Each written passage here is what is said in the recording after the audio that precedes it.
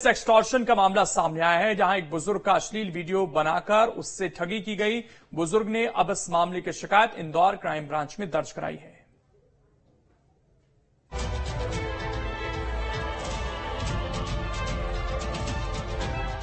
मध्य प्रदेश में सेक्सटॉर्शन के मामले बढ़ते जा रहे हैं।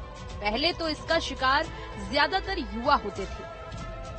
लेकिन अब बुज़ुर्गों को भी निशाना बनाया जा रहा है। ताज़ा मामला इंदौर से सामने आया है, जहाँ एक बुज़ुर्ग सेक्सटॉर्शन का शिकार हुआ है।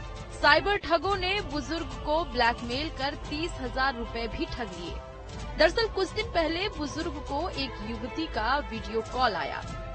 बुज़ुर्ग ने फ़ोन उठा लिया। कुछ देर बाद बुज़ुर्ग के फ़ोन पर एक अश्लील वीडियो आया। फिर साइबर ठग बुज़ुर्ग को ब्लैकमेल करने लगे। उसका वीडियो वायरल करने की धमकी देकर पचास हज़ार रूपए की डिमांड करने लगे। बुज़ुर्ग डर गया और उसने ठगों के खाते में रुपए ट्रांसफ़र कर दिए।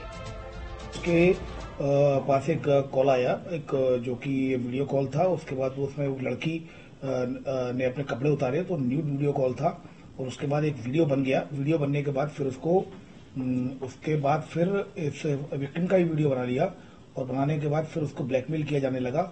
उस लड़की के द्वारा एक लड़के की आवाज़ में एक कॉल आया कि ये वीडियो हम सोशल मीडिया वायरल कर देंगे अगर तुमने पैसे नहीं दिए। फिर दूसरा यूट्यूबर बन के भी कॉल आया कि मैं यूट्यूबर बोल रहा हूँ, आपका वीडियो मेरे पास आया है, अगर आप चाहते हैं इसको वायरल नहीं करूँ तो पैसा दीजिए।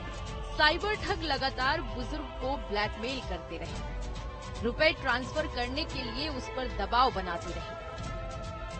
इतना ही नहीं, साइबर ठगों ने डराने के लिए सीबीआई का फर्जी लेटर भी भेजा और रेप का केस दर्ज करने की बात कही। इसके बाद डीएसपी सीबीआई बनकर फ़ोन आया और एक, इनको व्हाट्सएप पे एक नोटिस भी भेजा गया है सीबीआई का कि आपके खिलाफ केस रजिस्टर्ड हो गया है, लड़की ने रेप का केस रजिस्टर्ड कराया है और आपको पैसे अगर आप बचना चाहते हैं तो पैसे दे दे दीजिए। पचास हज़ार रुपये मांगे थे। जिसमें कि तीस हज़ार रुपये वृद्ध के द्वारा दे भी दिए गए थे। लेकिन उसके बाद फिर वो काफ़ी ज़्यादा परेशान रहा और घर परिवार में जब उन्होंने देखा कि उनकी हालत खराब हो रही है, तबीयत खराब हो रही है, तब जब परिवार वालों ने उनसे पूछा, तब उन्होंने पूरी बात बताई कि मुझे इस तरह ब्लैकमेल किया जा रहा है।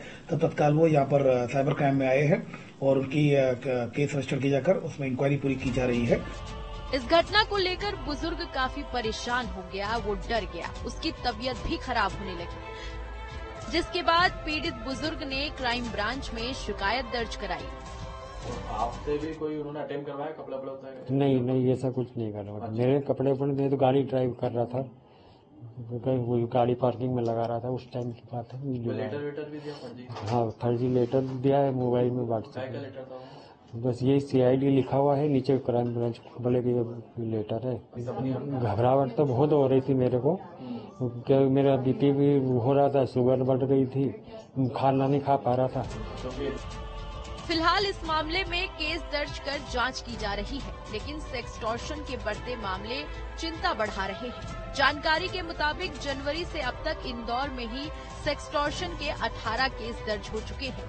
वहीं पुलिस लोगों से सतर्क रहने और ऐसे मामलों में जल्द से जल्द शिकायत दर्ज कराने की अपील कर रही है। इंदौर से आशीष जादौन के साथ टीम न्यूज़ स्टेट।